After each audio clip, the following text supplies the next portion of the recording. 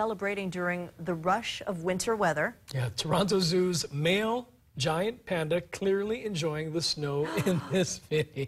Look at Oh how my gosh. It's from the security camera out Ah. there. His name is Da Mao, and here you can see him uh, using his body as a toboggan as he slides down a hill in his outdoor den. The panda then climbs back up the hill to do it all over again.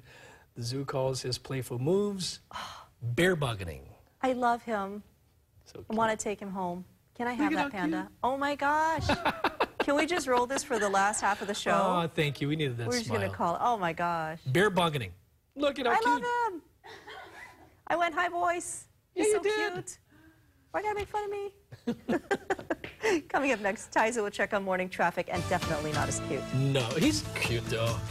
oh, you meant the traffic. Yes. Aww. All together. Aww.